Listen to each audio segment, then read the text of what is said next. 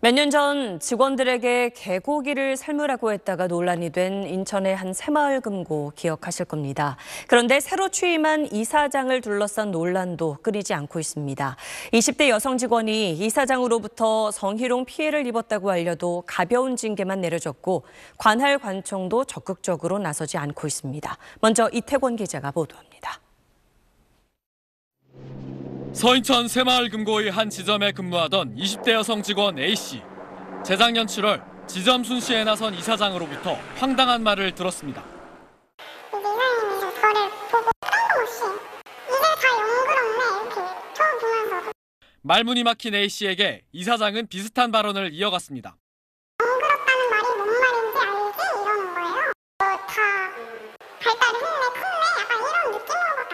A씨는 성희롱과 함께 이사장의 인사 관련 고성과 호통으로 고통을 받았다며 신고서를 접수했습니다.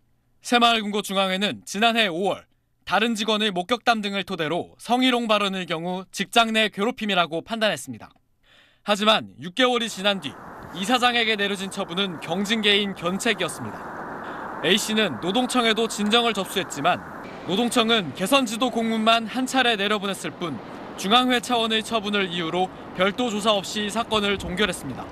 피해 직원은 지난해 11월 가해자가 격리 요청을 무시하고 계속 찾아와 불안감과 심리적 고통을 겪고 있다며 노동청에 다시 진정을 넣었지만 이 역시 받아들여지지 않았습니다. 비밀 유지도 되지도 않고 징계 절차에도 견책으로 끝나는 부분이고 전 앞으로도 계속 이사님의 일을 해야 되잖아요. 이사장은 SBS 취재진에 중앙회의 사실 확인 및 처분과는 달리 문제의 발언을 하지 않았다고 부인했습니다.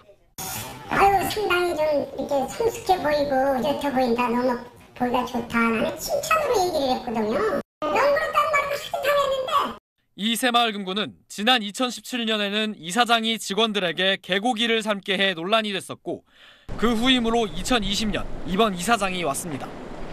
SBS 이태권입니다.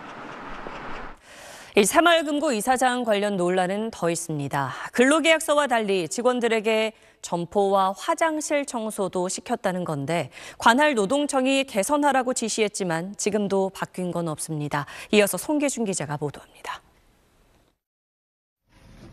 여직원이 남자 화장실 소변기를 닦고 있습니다.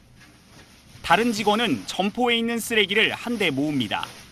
금고 직원들은 2020년 11월 이사장 취임 후 근로계약서 상에 없는 청소 업무를 떠안았다고 말합니다. 임신한 여직원도 동원됐습니다.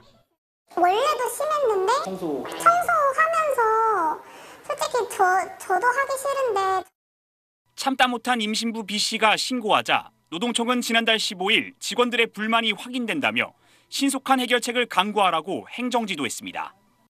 하지만 SBS 취재 결과 어제까지도 본점과 지점 6곳 가운데 4곳에서 직원들의 청소가 계속되고 있었습니다. 내부 CCTV 영상을 보면 한 직원은 마대자루로 바닥을 닦고 또 다른 지점에선 직원이 점포 내부를 돌며 쓰레기통을 비웁니다. 청소를 위해 화장실 내부에서 걸레를 빠는 모습도 눈에 띕니다. 이 사장은 직원들이 청소하는 건 취임 전부터 있었던 일이라면서 지난해 이미 본점서 관련 계획을 수립해 내년부터 용역을 쓰겠다고 통보했던 상황이라고 해명했습니다. 직원들의 반응은 싸늘합니다. 그 문서를 만들어서 어디에다가 제출했는지는 모르겠지만 저희 입장에서는 만들었다고는 하는데 아직까지 저희가 청소하고 있는데 청소가 계속되고 있다는 소식에 노동청은 행정지도안 사안이 최대한 빨리 적용될 수 있도록 신경 쓰겠다고 전했습니다. 네, 이 문제 취재한 송기준 기자 나와 있습니다. 새마을금고에서 이사장 관련한 문제가 한두 번이 아닌데 여기에서 이사장의 위치가 일반적으로 생각하는 것과는 좀 다른 의미를 갖는 것 같네요. 네, 이제 지역 새마을금고 이사장은 4년 임기인데 이제 그 지역 새마을금고의 경영을 총괄합니다. 근데 해당 금고 대의원들이 이사장을 선출하는 간선제가 이제 대부분이다 보니까 한 번 당선되면 10년 이상 장기 집권하는 경우가 많습니다.